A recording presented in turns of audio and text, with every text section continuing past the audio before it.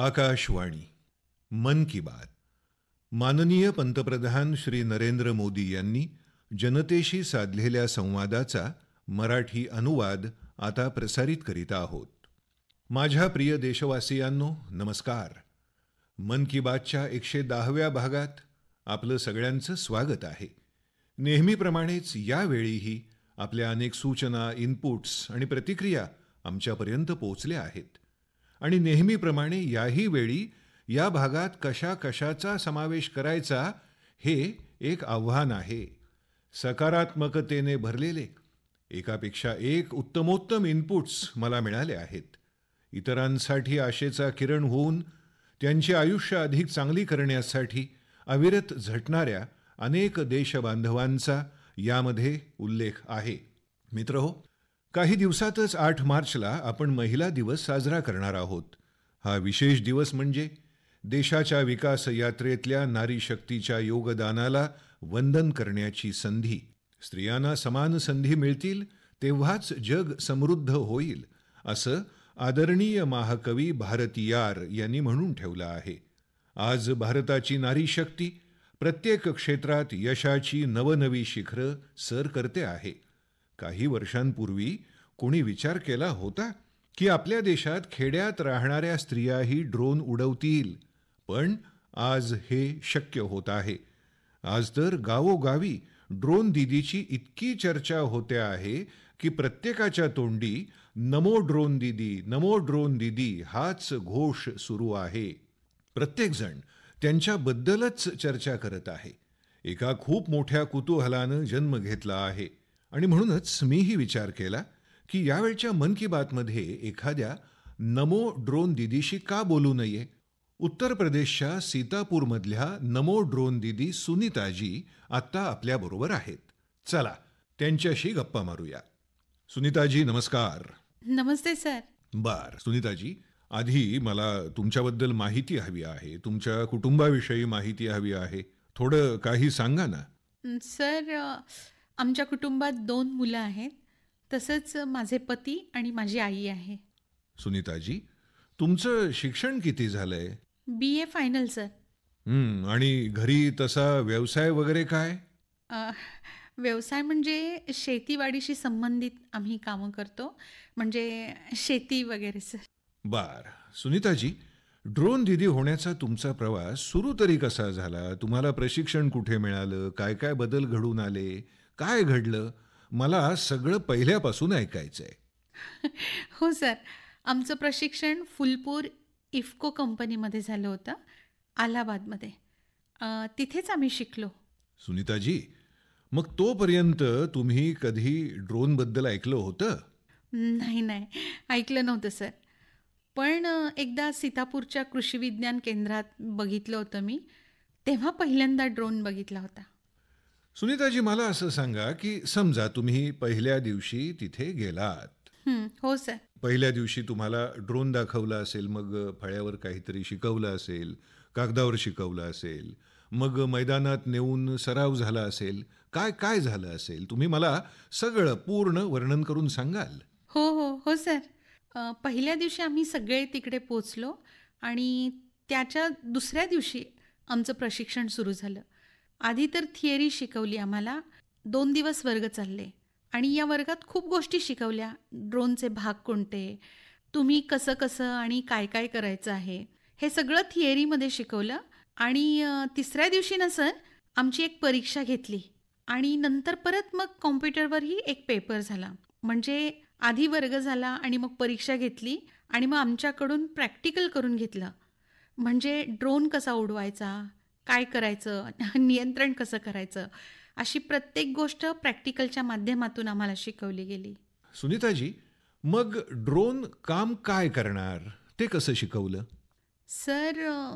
drone काम करणार म्हणजे जसं बघा की आता पीक वाढतंय पावसाळ्याचे दिवस आहेत किंवा असं काही पावसाळ्यात अडचणी येतात आम्ही शेतात उभ्या पिकाच्या आत जाऊच शकत नाही आणि मग मजूर तरी आत कसा जाईल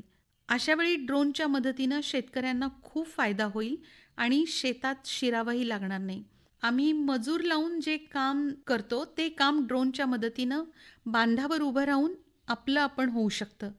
शेतात काही किडे वगैरे झाले तर त्यापासूनही आपल्याला सावध राहावं लागतं आणि मग काही त्रास होत नाही आणि शेतकऱ्यांना देखील हे आवडतं आहे सर आम्ही आत्तापर्यंत पस्तीस एकरवर फवारणी केली आहे हा म्हणजे सुनीताजी शेतकऱ्यांनाही याचा फायदा पटतोय हो सर शेतकरी देखील याबद्दल खूप समाधानी आहेत खूप आवडतंय म्हणून सांगतात वेळही वाचतो सगळी सोय तुम्ही स्वतः बघता पाणी औषधं सगळंच तुम्ही बरोबर घेऊन येता आणि आम्हाला येऊन फक्त शेत दाखवायचं काम असतं म्हणजे कुठून कुठपर्यंत माझं शेत आहे बस मग माझं सगळं काम अर्ध्या तासात आटोपतं सुनीताजी मग हे ड्रोन बघायला इतर लोकही येत असतील ना हो सर हो खूप गर्दी उसळते ड्रोन बघायला खूप लोक येतात मोठे मोठे शेतकरी नंबर पण घेऊन जातात सांगतात आम्ही पण बोलवू तुम्हाला फवारणी करायला अच्छा सुनीताजी असं बघा माझी एक मोहीम आहे लखपती दिदी घडवण्याची आज जर देशभरातल्या भगिनी ऐकत असतील तर एक ड्रोन दिदी आज पहिल्यांदाच माझ्याशी गप्पा मारत आहे मग काय सांगाल तुम्ही सर आज मी जशी एकटी ड्रोन दिदी आहे तशा हजारो भगिनी पुढे याव्यात म्हणजे त्याही माझ्यासारख्या ड्रोन दीदी होतील मला खूप आनंद होईल म्हणजे मी आत्ता एकटीच असले तरी पण माझ्यासोबत जेव्हा हजारो महिला उभ्या असतील तेव्हा खूप छान वाटेल की मी एकटी नाही खूप जणी माझ्याबरोबर ड्रोन दिदी म्हणून ओळखल्या जात आहेत चला सुनीताजी माझ्याकडून तुम्हाला खूप खूप शुभेच्छा या नमो ड्रोन दिदी आपल्या देशात शेतीला आधुनिक करण्यासाठी खूप मोठं माध्यम म्हणून काम करतायत माझ्या खूप खूप शुभेच्छा धन्यवाद सर धन्यवाद सुनीताजी मित्र हो आज देशात नारी शक्ती कुठेतरी मागे पडली आहे असं एकही क्षेत्र नाही आणखी एका क्षेत्रात स्त्रियांनी आपल्या नेतृत्व क्षमता खूप सुंदर पद्धतीने दाखवून दिल्या आहेत ते क्षेत्र म्हणजे नैसर्गिक शेती जलसंवर्धन आणि स्वच्छता रसायनांमुळे आपल्या धरतीमातेला जो त्रास होतोय जी पीडा जे दुःख होत आहे ते समजून घेऊन धरणीमातेला वाचवण्यासाठी देशातली मातृशक्ती महत्वाची भूमिका बजावतेय देशाच्या कानाकोपऱ्यात आता महिला नैसर्गिक शेतीचा विस्तार करत आहेत आज जर देशात जलजीवन मिशनच्या अंतर्गत इतकं काम होताना दिसत असेल तर त्यामागे पाणी समित्यांची खूप मोठी कामगिरी आहे या पाणी समित्यांचं नेतृत्व महिलांकडेच आहे त्याखेरीज आपल्या भगिनी कन्या जलसंवर्धनासाठी चहू बाजूंनी प्रयत्न करतच आहेत आता अशाच एक ताई माझ्याबरोबर फोन लाईनवर आहेत त्यांचं नाव कल्याणी प्रफुल्ल पाटील त्या महाराष्ट्रात राहतात चला कल्याणी प्रफुल्ल पाटील यांच्याशी बोलून त्यांचा अनुभव जाणून घेऊया कल्याणीजी नमस्ते नमस्ते सरजी नमस्ते कल्याणीजी आधी थोडंसं तुमच्याबद्दल तुमच्या कुटुंबाबद्दल तुमच्या कामाबद्दल थोडं जरा सांगा ना सर मी एम एस सी मायक्रोबायोलॉजी केलं आहे माझ्या घरी माझे पती सासूबाई माझी दोन मुलं आहेत गेल्या तीन वर्षापासून मी आमच्या ग्रामपंचायतीत कामं करते कल्याणीजी आणि मग गावात शेतीचं काम सुरू केलं कारण तुमच्याकडे शेतीचं बेसिक ज्ञान सुद्धा आहे तुमचं शिक्षणही या क्षेत्रात झालंय आणि आता तुम्ही शेतीच्या कामाला लागला आहात तर मग तुम्ही कोणते नवीन प्रयोग केलेत सर आमच्याकडच्या दहा प्रकारच्या ज्या वनस्पती आहेत ना त्या एकत्रित करून त्यातून आम्ही ऑर्गॅनिक म्हणजे सेंद्रिय फवारणी तयार केली आहे आपण एरवी जी कीटकनाशकं मारतो त्यातून उपद्रवी किडीसह आपल्याला उपयोगी अशी मित्र कीडही नष्ट होते आणि आपल्या मातीचं प्रदूषण होतं ती रसायनं पाण्यामध्ये मिसळल्यावर त्यांच्यामुळे आपल्या शरीरावर हानिकारक परिणाम दिसून येतात आणि हे सगळं लक्षात घेऊन आम्ही कीटकनाशकांचा कमीत कमी वापर करतो कल्याणीजी म्हणजे एक प्रकारे तुम्ही पूर्णपणे नैसर्गिक शेतीकडे वाटचाल करत आहात हो सर आपली जी पारंपरिक शेती आहे ना तशी केली आम्ही मागच्या वर्षी कल्याणीजी मग कसा अनुभव आला नैसर्गिक शेतीचा सर आमच्या स्त्रियांना तो जो खर्च आला तो कमी वाटला आणि जे उत्पादन मिळालं ना त्यातून समाधान मिळालं आम्ही कीटकनाशकं न वापरता हे केलं कारण आता कर्करोगाचं प्रमाण वाढतं आहे शहरी भागात तर ते आहेच पण गावांमध्येही त्याचं प्रमाण वाढतं आहे तर मग त्याचा विचार केल्यास आपण आपल्या पुढच्या पिढ्यांना सुरक्षित ठेवायचं असेल तर हा मार्ग आवश्यक आहे असा विचार करून त्या स्त्रियाही यामध्ये सक्रिय सहभागी होत आहेत बर कल्याणीजी तुम्ही जलसंवर्धनातही काहीतरी काम केलंय काय केलं आहे त्यामध्ये तुम्ही सर रेन वॉटर हार्वेस्टिंग म्हणजे वर्षा जलसंवर्धन आमच्या इथल्या जेवढ्या शासकीय इमारती आहेत म्हणजे की जसं प्राथमिक शाळा अंगणवाडी आमच्या ग्रामपंचायतीची वास्तू तिथलं पावसाचं सगळं पाणी एकत्र करून आम्ही एका जागी गोळा केलं आहे आणि रिचार्ज शाफ्ट असतो ना सर तो वापरला आहे आम्ही म्हणजे जेणेकरून पावसाचं पाणी जमिनीच्या आत झिरपलं पाहिजे आणि अशा प्रकारे आम्ही वीस रिचार्ज शाफ्ट आमच्या गावात बसवले आहेत आणि पन्नास रिचार्ज शाफ्टना मंजुरी मिळाली आहे आता लवकरच तेही काम सुरू होईल वा कल्याणीजी तुमच्याशी बोलून अगदी छान वाटलं तुम्हाला खूप खूप शुभेच्छा धन्यवाद सर मलाही तुमच्याशी बोलून खूप आनंद झाला म्हणजे असं वाटतं की माझं आयुष्य पूर्णपणे सार्थकी लागलं सेवा करत राहा बस चला तुमचं नावच कल्याणी आहे तर तुम्ही कल्याण तर नक्कीच करणार धन्यवाद ताई नमस्कार धन्यवाद सर धन्यवाद मित्र हो सुनीताजी असोत की कल्याणीजी वेगवेगळ्या क्षेत्रांमधल्या नारी शक्तीच्या यशोगाथा अतिशय प्रेरणादायी आहेत मी पुन्हा एकदा आपल्या नारी शक्तीमधल्या या चैतन्याचं अंतकरणापासून कौतुक करतो माझ्या प्रिय देशबांधवांनो आज आपल्या सगळ्यांच्या आयुष्यात तंत्रज्ञानाचं महत्त्व खूप वाढलं आहे मोबाईल फोन डिजिटल उपकरणं ही आपल्या सर्वांच्या आयुष्याचा महत्त्वाचा घटक बनली आहेत पण आता वन्य प्राण्यांशी जुळवून घेण्याबद्दलही डिजिटल उपकरणांची मदत होते आहे याची तुम्ही कल्पना करू शकता काही दिवसातच तीन मार्चला जागतिक वन्यजीव दिवस आहे वन्यजीवांच्या संरक्षणाविषयी जागरूकता पसरवण्यासाठी हा दिवस साजरा केला जातो यावर्षी वर्ल्ड वाईल्ड लाईफ डेच्या मध्यवर्ती संकल्पनेत डिजिटल इनोव्हेशन म्हणजे डिजिटल अभिनवतेला सर्वाधिक प्राधान्य देण्यात आलं आहे आपल्या देशाच्या वेगवेगळ्या भागात वन्य प्राण्यांच्या संरक्षणासाठी तंत्रज्ञानाचा उत्तम उपयोग होत आहे हे ऐकून तुम्हाला आनंद होईल गेल्या काही वर्षात सरकारच्या प्रयत्नांनी देशात वाघांची संख्या वाढली आहे महाराष्ट्राच्या चंद्रपूरमधल्या टायगर रिझर्व्हमध्ये वाघांची संख्या अडीचशेपेक्षा जास्त झाली आहे चंद्रपूर जिल्ह्यात मनुष्य विरुद्ध वाघ असा संघर्ष कमी करण्यासाठी ए आय म्हणजे कृत्रिम बुद्धिमत्तेची मदत घेतली जात आहे तिथे गाव आणि जंगलाच्या सीमेवर कॅमेरे लावण्यात आले आहेत जेव्हा एखादा वाघ गावाजवळ येतो तेव्हा एआयच्या मदतीने स्थानिक लोकांच्या मोबाईलवर सावधगिरीचा इशारा पाठवला जातो आज या व्याघ्र प्रकल्पाच्या आसपासच्या तेरा गावांमध्ये या व्यवस्थेतून लोकांचीही सोय झाली आहे आणि वाघांनाही सुरक्षा मिळाली आहे मित्रांनो आज तरुण युवा उद्योजकही वन्यजीव संरक्षण आणि पर्यावरण पर्यटन यासाठी नवोन्मेषी संकल्पना पुढे आणत आहेत उत्तराखंडमध्ये रुडकीमध्ये रोटोर प्रिसिजन ग्रुप्सनं wild life institute of India म्हणजेच भारतीय वन्यजीव संस्थेच्या सहकार्यानं एक वैशिष्ट्यपूर्ण ड्रोन तयार केला आहे या ड्रोनच्या मदतीनं केन नदीमधल्या मगरींवर लक्ष ठेवता येतं अशाच पद्धतीनं बंगळुरूच्या एका कंपनीनं बघिरा आणि गरुड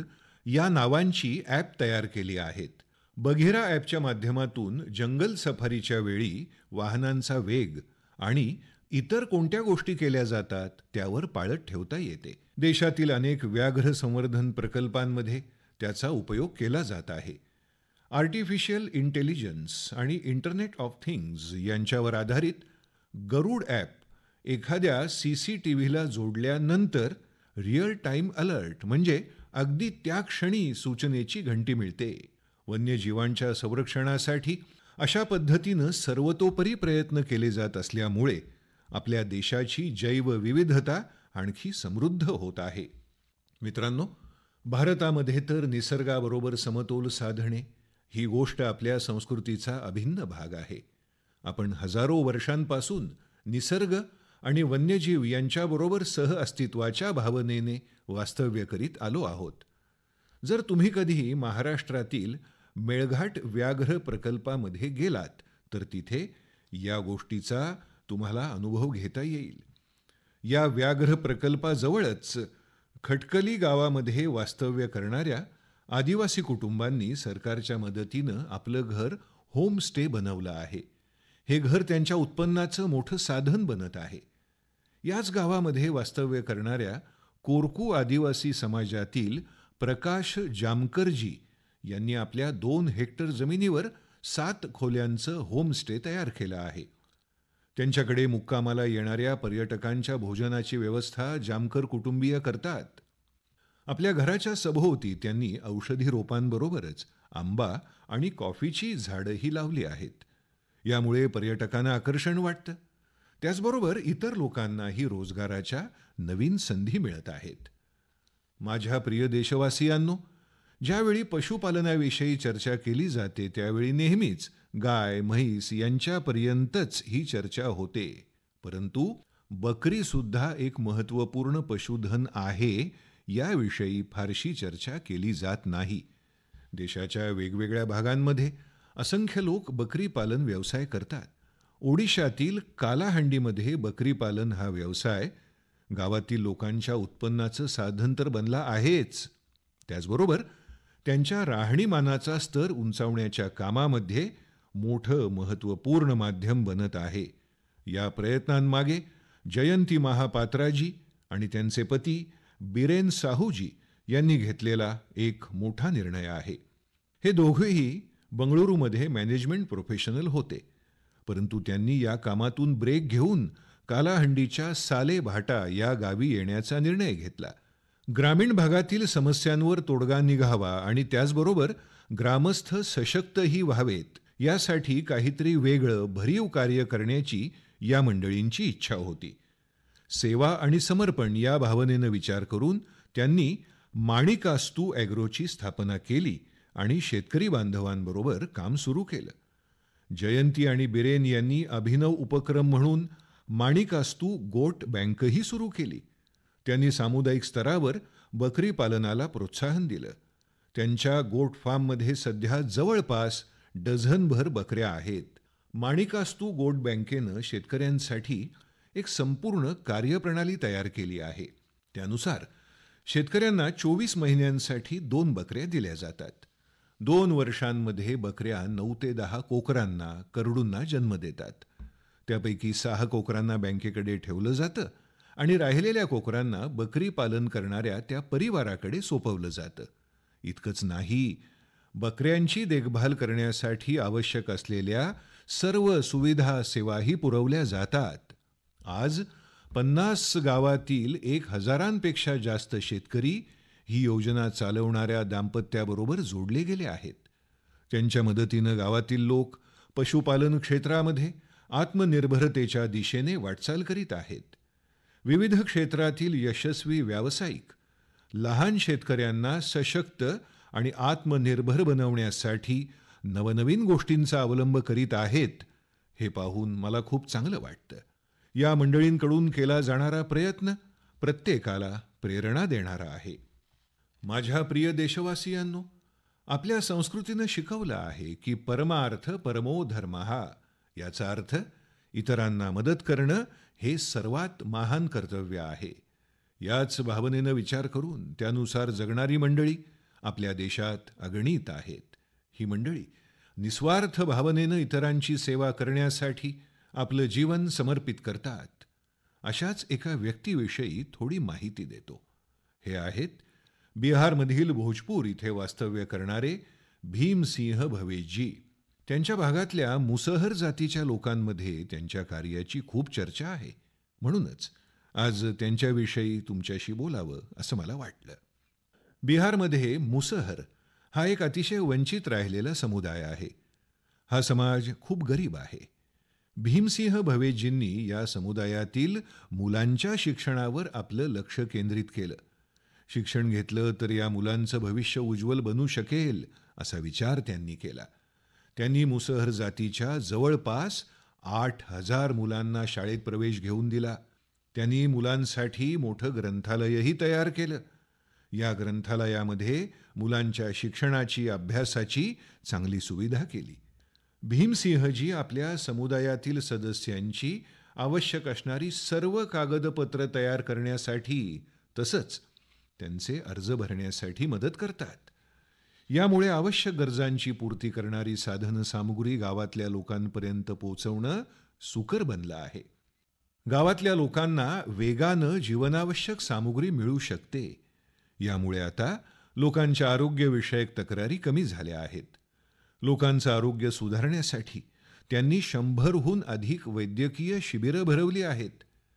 ज्यावेळी कोरोना महामारीचं संकट आलं होतं त्यावेळी भीमसिंहजी यांनी त्यांच्या क्षेत्रातील सर्वच लोकांनी लस घ्यावी यासाठी खूप प्रोत्साहन दिलं देशाच्या वेगवेगळ्या भागांमध्ये भीमसिंह भवेजी यांच्यासारखे अनेक लोक आहेत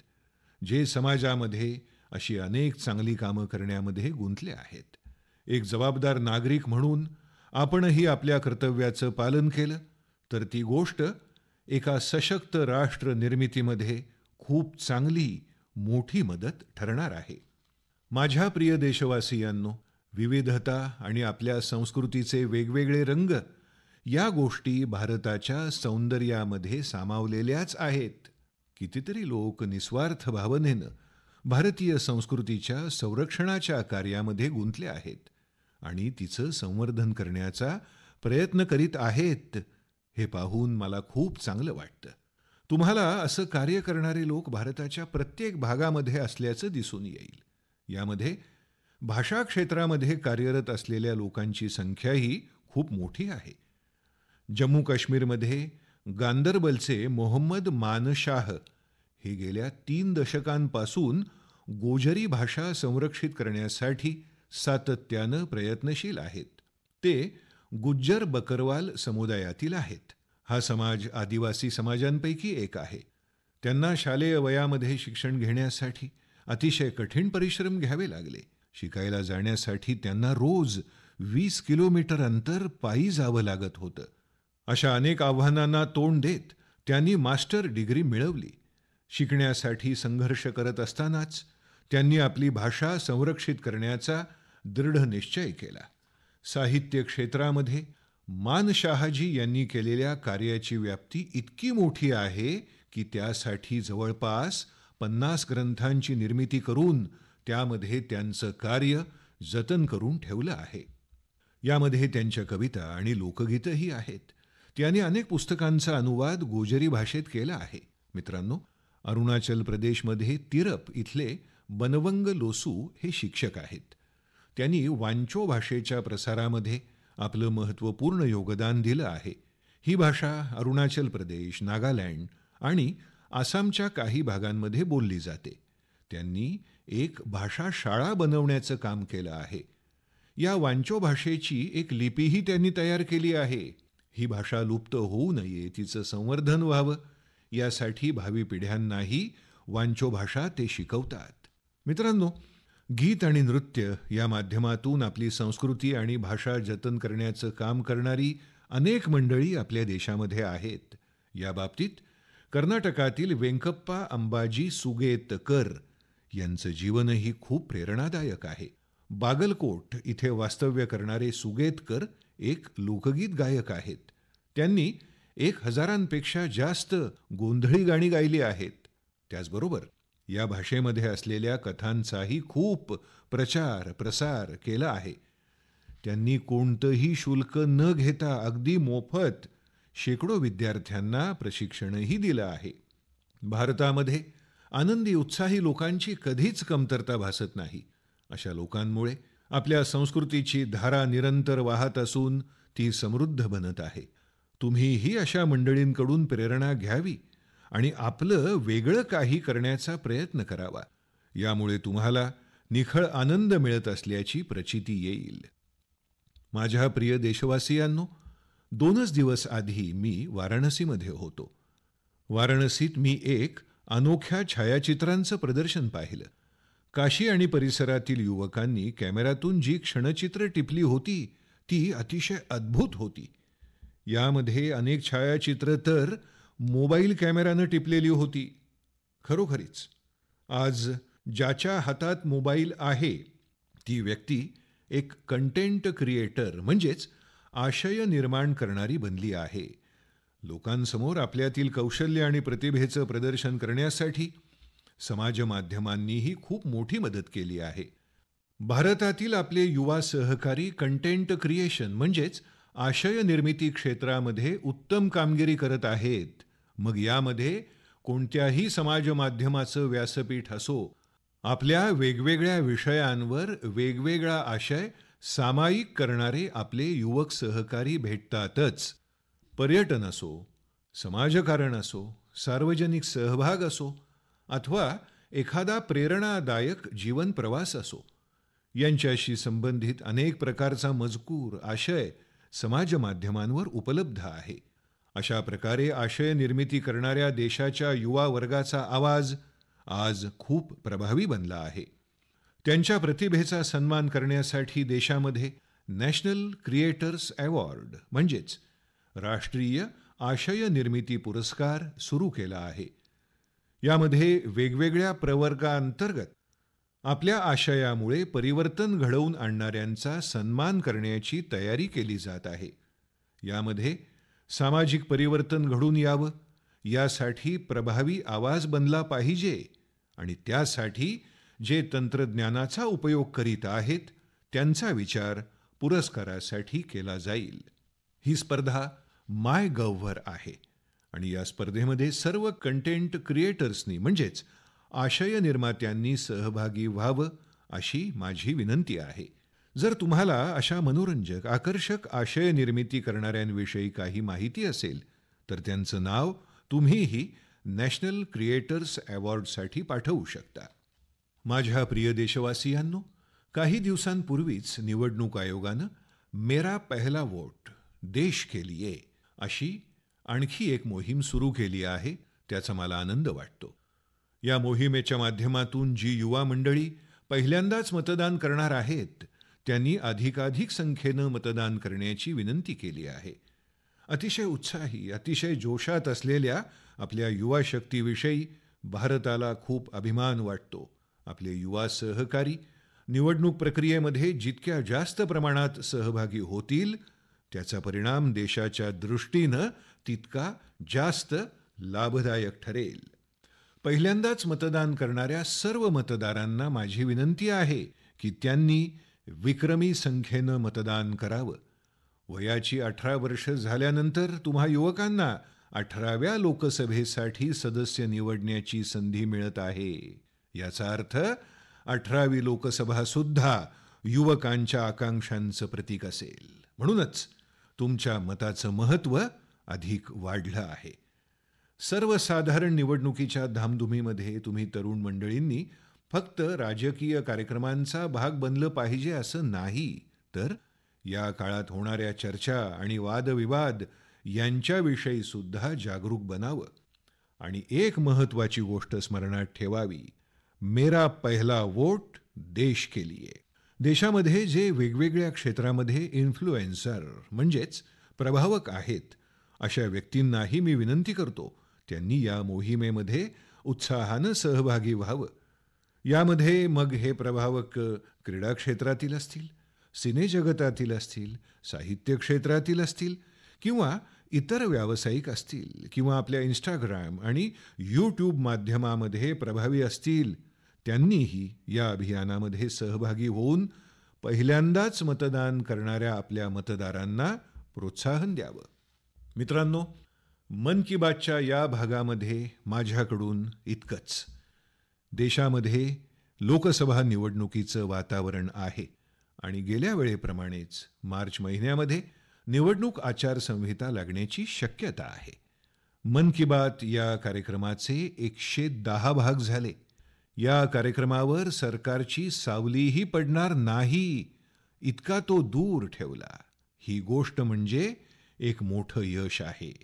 मन की बातमध्ये देशाच्या सामूहिक शक्तीविषयी चर्चा होते देशानं केलेल्या कामगिरीची देशानं मिळवलेल्या यशाची चर्चा होते एक प्रकारे जनतेचा जनतेसाठी जनतेद्वारे तयार होणारा हा कार्यक्रम आहे तरीही राजकीय मर्यादेचं पालन करताना लोकसभा निवडणुकीच्या या काळामध्ये आता आगामी तीन महिने मन की बातचं प्रसारण होणार नाही आता ज्यावेळी आपल्याबरोबर मन की बातमध्ये संवाद साधला जाईल तो मन की बातचा एकशे अकरावा भाग असेल नंतरच्या मन की बातचा प्रारंभ एकशे अकरा या शुभ अंकाने होईल यापेक्षा चांगली गोष्ट दुसरी कोणती असणार तरीही मित्रांनो तुम्हा मंडळींना माझं एक काम करीत राहायचं आहे मन की बात भलेही तीन महिने थांबणार आहे तरीही देशाची कामगिरी काही थांबणार नाही म्हणूनच तुम्ही मन की बात हॅशटॅगवर समाजाच्या कामगिरीची देशानं मिळवलेल्या यशाची माहिती समाज माध्यमांवर पोस्ट करीत राहा काही दिवसांपूर्वी एका युवकानं मला खूप चांगला सल्ला दिला होता हा सल्ला असा होता की मन की बातच्या आतापर्यंतच्या भागांचे लहान लहान व्हिडिओ यूट्यूब शॉर्ट्स या स्वरूपामध्ये सामायिक केले पाहिजेत म्हणूनच मी मन की बातच्या श्रोत्यांना विनंती करतो की असे शॉर्ट्स तुम्ही भरपूर सामायिक करावेत मित्रांनो ज्यावेळी पुढच्या वेळी आपल्याशी संवाद साधला जाईल त्यावेळी पुन्हा एकदा नवीन चैतन्यानं नवीन माहिती घेऊन तुम्हाला भेटेन तुम्ही स्वतःची काळजी घ्यावी खूप खूप धन्यवाद नमस्कार मन की बात माननीय पंतप्रधान श्री नरेंद्र मोदी यांनी जनतेशी साधलेल्या संवादाचा मराठी अनुवाद आपण ऐकला हा मराठी अनुवाद आकाशवाणी मुंबई अस्मिता वाहिनीवरून प्रसारित करण्यात आला